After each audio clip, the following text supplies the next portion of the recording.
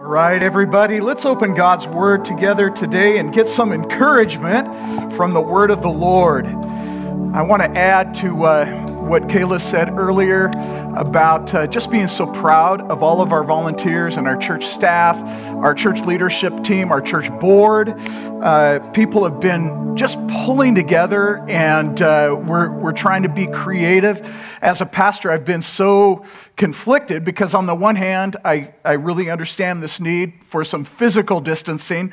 But at the same time, wow, if there was ever a time we need one another, it's right now.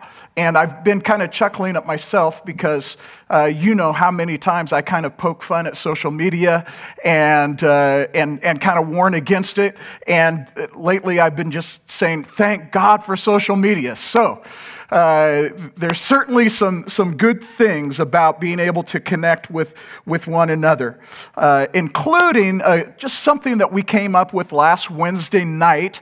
We did a virtual prayer meeting right from my home on Facebook Live, and uh, it was just me and, and Janice and Pastor Roger and Teresa and our producer, Val Coleman, and uh, we just gathered together in my living room and we led in prayer requests. And, and about 70, 70 of you joined us, and it was just a great time of praying together. And you have the opportunity to send in prayer requests, and, and uh, it was just a really, really special time. So we're going to do that again this Wednesday, Facebook Live at 7 o'clock uh, for a, a, a, prayer, a prayer time together.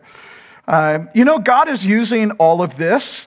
Uh, it's interesting that God is always able uh, to take things that seem so chaotic and troublesome, and he uses those things somehow together for good. Uh, last year, as I was praying about this coming year for our church, the Lord impressed on me about the importance about of talking about the goodness of God. So, all year we've been talking about the goodness of God, not knowing that we were going to go through what we're going through right now. And I want you to know that God is good on our best day and God is good on our most difficult day. God is still good. And we need to have confidence in that. And I, I just believe that from the very beginning of the year, God was getting us ready as a church for what we're experiencing right now. One of the scriptures that we looked at early on was Genesis chapter 1, uh, where God took complete chaos. Remember, uh, everything was out without form and void, and, and God created something so beautiful out of chaos. And so God does this. And then later on in the book of Genesis, we have the very human story about Joseph and how chaotic his life was. All the ups and downs and all the things that Joseph went through. But in all of it, God was with him, seeing him through all of it. And at the end, uh, in this dramatic scene, Joseph is reunited with his brothers. And, and he says this to them What you intended for evil, God intended for good.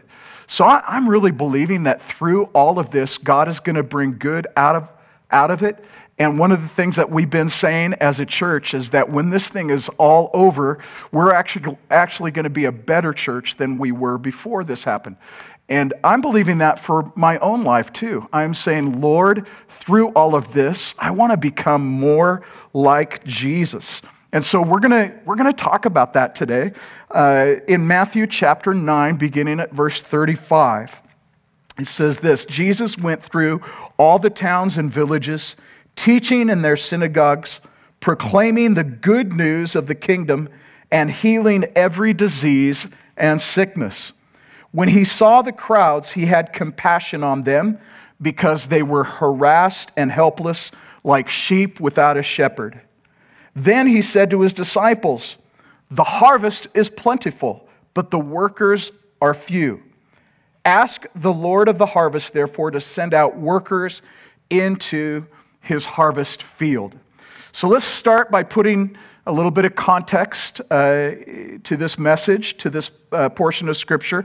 Earlier in this chapter, Jesus had just finished calling the very last of his 12 disciples uh, who would follow him throughout his ministry on earth. And it happened to be Matthew, uh, who was a tax collector. And Interestingly enough, it's Matthew that wrote what we just read. Uh, and then after that, he heals a woman who had been uh, had a, a, blood hemorrhage for 12 years, and then he raised a, a, a girl from the dead, a, young girl from the dead. He heals two blind men, uh, blind men, and then he uh, cast demons out of, uh, out of a man that was demon possessed. And so Jesus and his 12 disciples are traveling all around together, and they're doing what Jesus always did teaching, proclaiming the kingdom of God, healing, casting out demons, loving people. And so I want us to come back and just circle around and come back to Matthew chapter 9 and verse 36 again. And this is where we're going to spend the rest of our time together. When Jesus saw the crowds, he had compassion on them because they were harassed and helpless like sheep without a shepherd. In the past couple of weeks, as things have been unfolding before our very eyes, this passage of Scripture has come to my, my mind so many times. And so I, I want us to look at this whole scene from three different perspectives, all right? The first one is the first perspective is the, G, the people that Jesus was sent to. Uh, the people Jesus was sent to. And there are three words that Matthew uses to describe these people they were harassed, helpless, and like sheep without a shepherd.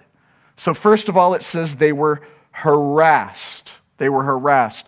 So clearly, uh, they had a lot of health issues because Jesus was healing a lot of people. They didn't have hospitals like we have today. Many of them were poor, they were financially stressed to the limit. Uh, they were under the thumb of a foreign government. And even their own religious leaders, who should have been the people bringing the most encouragement, these leaders we learn were hypocritical. They were self righteous. They were judgmental. They were oppressive. So the very people that should have been encouraging them were actually discouraging them even more. So the people felt absolutely harassed. And then a second word that Matthew uses is they were, they were helpless. Now, when it says they were helpless, it's not like they weren't trying. It's just that things were so difficult, they couldn't make their own way out. They needed help. But until Jesus came along, they didn't see any help coming. You know, there's many things in our life that we're able to handle uh, on our own, and we should. But at some point, we just feel like we're outnumbered, right? And that can make us feel so helpless. But I want you to know today with Jesus, you're not helpless. In fact, the Bible says we are more than conquerors, that no matter what is going on circumstantially in our lives, we are never helpless because the Lord is on our side. And then the, the third thing that Matthew says about these folks is that they are like sheep without a shepherd. Now, that's quite a sad picture when you think about it, like sheep without a shepherd. Now, I haven't been around a lot of sheep, but I got to say, when I'm out in the highway and I'm driving by sheep, I kind of like them. They're kind of cute. But what a sad picture. Sheep with no shepherd, no one to protect them, no one to see to their needs, to feed them, to tend to their wounds if they're injured, no one to lead them or guide them. This is how Matthew describes the people were before Jesus came along. But then along comes Jesus, right? And the Bible often uses this description of the Lord that the Lord is a shepherd. So, David in the 23rd Psalm, the Lord is my shepherd. Jesus said of himself, I am the good shepherd. So, he is the one that comes along and he leads and guides and protects and encourages and gives us strength. So, I want you to know today if you feel kind of like you're wandering and alone, uh, like a sheep without a shepherd, I want you to know you have a great shepherd that you can look to. And he, he is going to be with you no matter what. So that's the first perspective, the perspective of, of the crowds of people, the multitudes of people. The second perspective uh, I want you to think about is the perspective of Jesus, of Jesus himself. What do we learn about Jesus? It says that when he saw the crowds, he had compassion on them. So this, this shows us the heart of Jesus. When he saw the crowds, he had compassion on them. I want you to know that, uh, that Jesus is not um, without feeling. He's not without uh, he's, he's not without compassion. He has compassion and he's loving. And, and I think about Jesus at the tomb of Lazarus with uh, his sis, Lazarus' sisters there and, and uh, the people that were mourning. The Bible says that Jesus wept. You know, some of the, some of the movies that, especially earlier movies that where Jesus is in them, uh, it shows Jesus as kind of being almost robotic, unfeeling. Uh, nothing could be further from the truth. Jesus is compassionate and, and feeling. And notice in this verse three things about Jesus. First of all, he saw, all right? He saw what was going on. And I want you to know he sees you today. He sees you today. And then he cared. But not only did he care, he did something about it. This word compassion in the Greek indicates that uh, Jesus didn't just observe from a distance and feel bad for them, that he had compassion, and that means that he was actually moved to take action, all right? That he actually did something uh, about the troubling times that people were going through. He was moved to action. So, this beautiful picture of Jesus. Now, the Bible says that Jesus Christ is the same yesterday, today, and forever. And with everything that's going on in our world, I want you to know Jesus still sees, He still cares, and He will still do something about it. And then a third perspective. Um, and, and this one we kind of read between the lines. There's a third group of people uh, that this, this uh, story talks about, but they're not mentioned, uh, but we know they're there. The third perspective is the perspective of the disciples. So the disciples were all there watching Jesus, including Matthew, who wrote all of this down so we could read it today.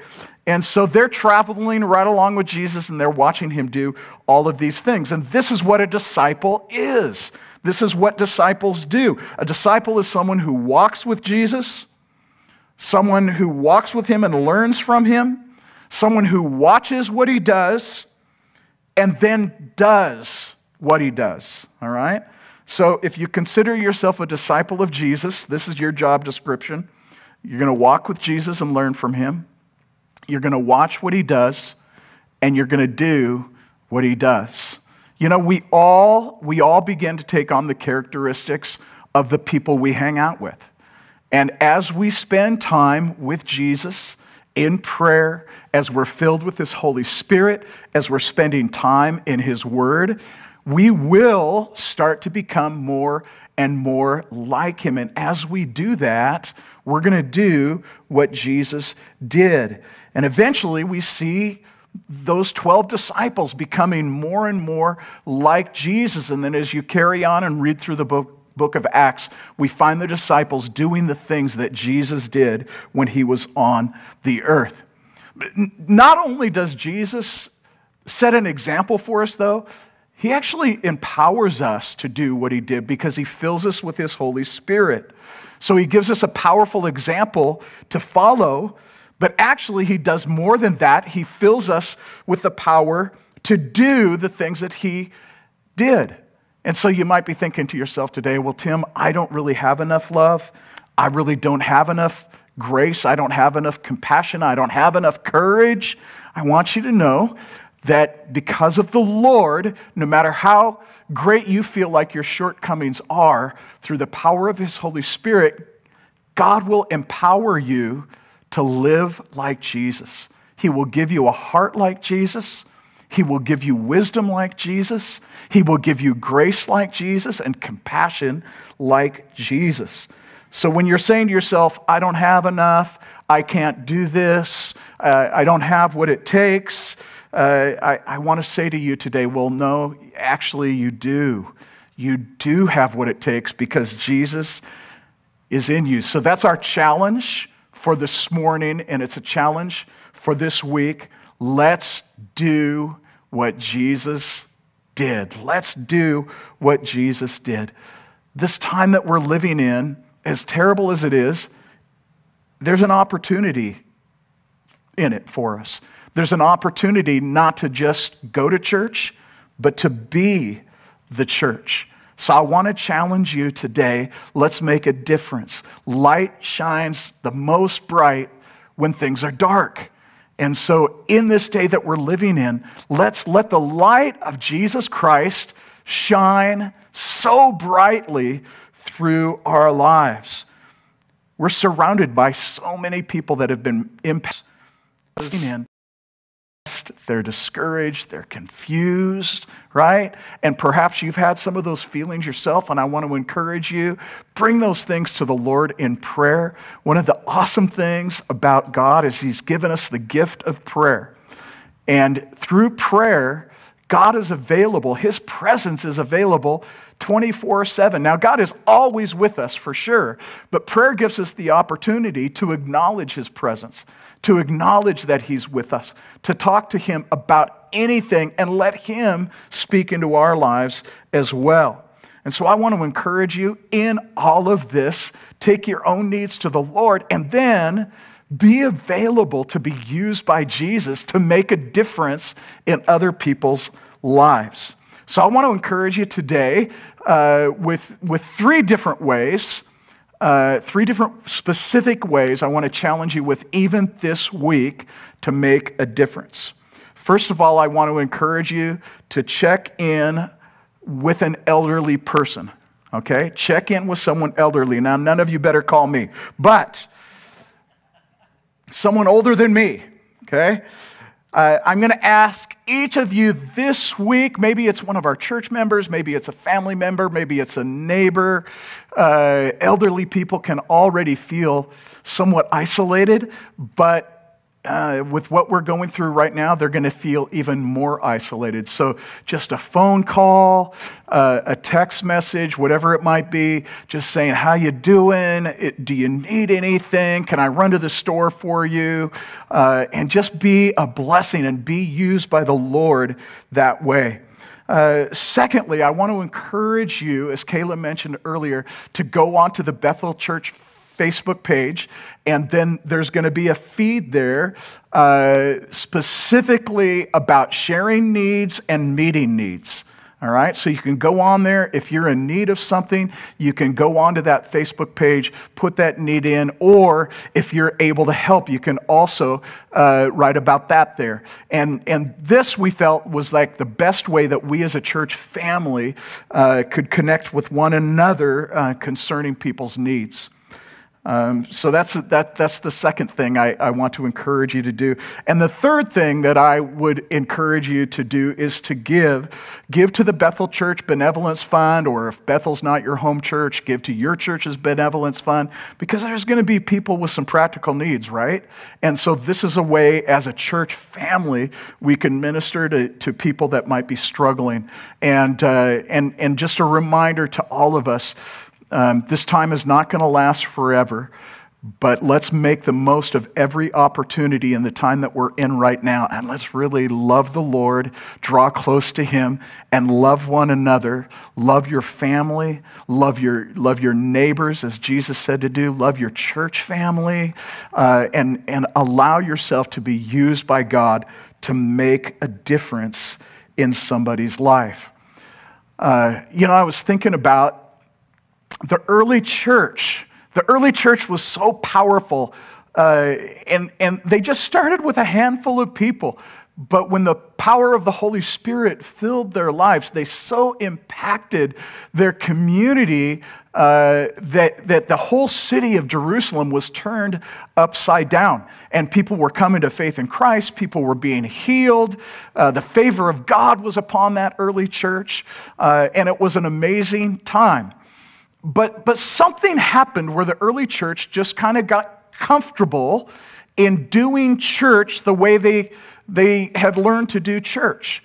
And so they settled in. Remember the commission that Jesus gave the early church is that they were going to be filled with the Holy Spirit and they were going to be witnesses in Jerusalem, but then they, it wasn't supposed to stop there. Then they were going to go to Judea and Samaria and to the ends of the earth. But what we find in the first few chapters of the book of Acts, after the Holy Spirit is poured out in Acts chapter 2, they just stay in Jerusalem.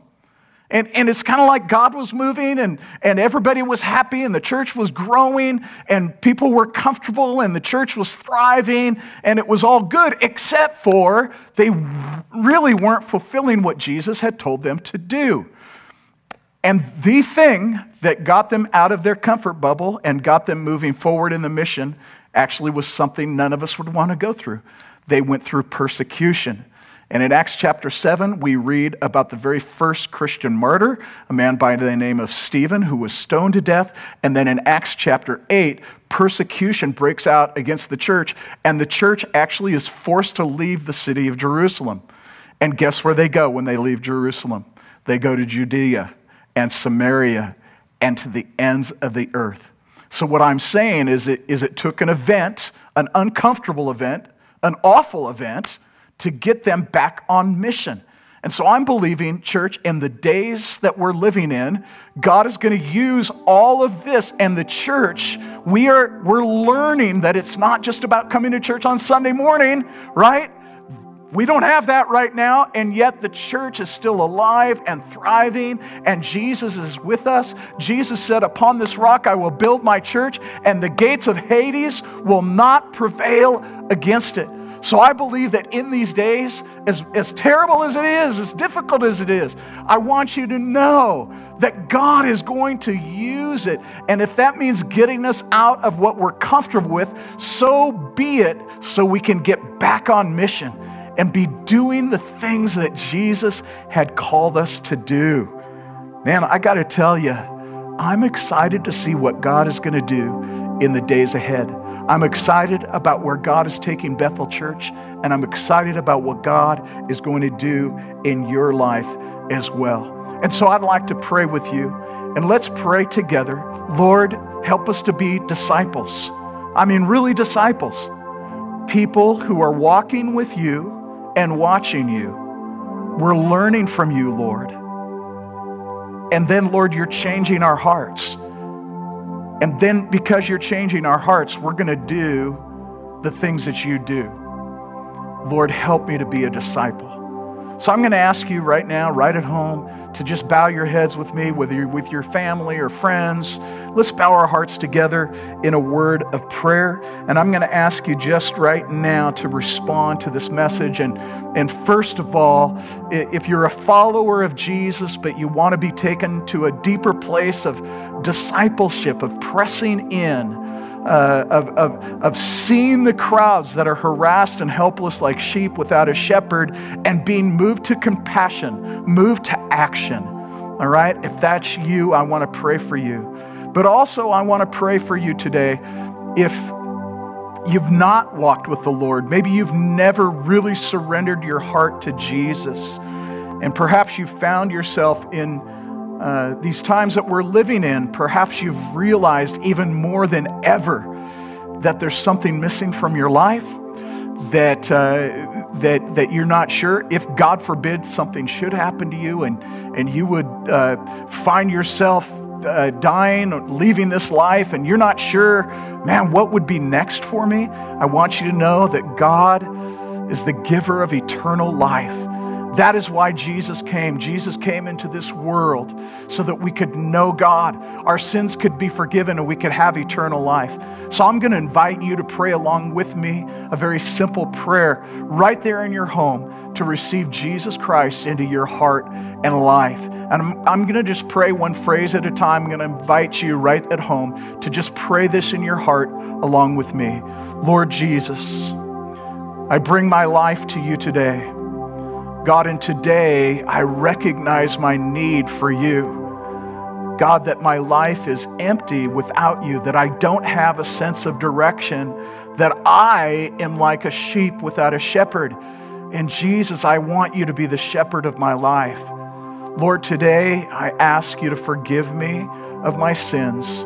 Jesus, I thank you for your love, and I believe you love me so much that you died on a cross for me. Lord, today I invite you to come into my heart, into my life. In Jesus' name, amen. And now, Lord, I, I want to pray for every person that they already know you, but God, you're taking them to a deeper place of discipleship. Lord, we want to grow in you. We want to take advantage of this time that we're in. God, to press into you even more and learn even more that you really are the shepherd of our souls, Lord, that you care about us, you love us, Lord, you're with us no matter what. God, I pray, Lord, for every person here, not only, Lord, that we're going to look to you and draw closer to you, but, Lord, that we're going to be used by you to make a difference in our neighborhood and with our family and our church family. God, that you're going to use us to be a blessing to other people. Help us not to shrink back, uh, not to become hoarders God, not to withdraw ourselves, Lord. Help us to put ourselves out there and to continue to be caring and loving and compassionate and generous, Lord. God, that where there has been death, there's going to be life in Jesus Christ. Lord, I, I want to pray not only for a survival attitude, but God, I want to pray, Lord, that actually the joy of the Lord would be our strength, God. Lord, that no matter what happens, we remember, God, that we're on the winning team, Lord, with you. And we thank you in Jesus' name. Amen. Amen.